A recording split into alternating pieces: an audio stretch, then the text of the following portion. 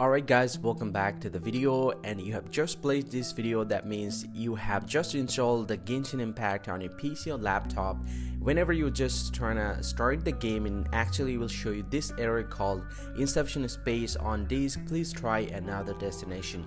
In this video I'll show you a couple of ways of how you can fix the problem so don't wasting any more time. Let's jump right in guys. But so fixing this problem is pretty quick and easy. Simply first thing first go ahead and tap on confirm from here and it's gonna show you that this one insufficient storage space error and it's gonna show your uh, you know installation path right here. I have uh, selected uh, the drive C right here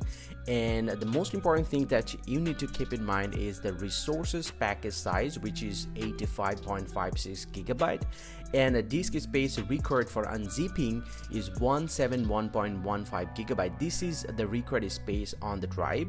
But my C drive uh, have available space which is 66.10 which is not compatible or which is not enough in order to uh, install or download the resources file from here. So now to fix the problem you actually have to uh, tap on this change option right there.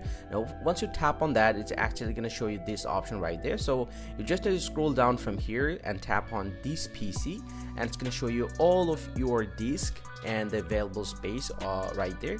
So you actually need to find out a disk where you have that specific available space. I mean this one 171.15 gigabyte. So I have free space right there. So if you don't have you actually have to find out a specific these and you actually need to delete some of the photos videos or whatever you have and you just need to make sure that you have that specific space available on that disk. So i have a local disk f and i have 19 2 gigabyte of free storage.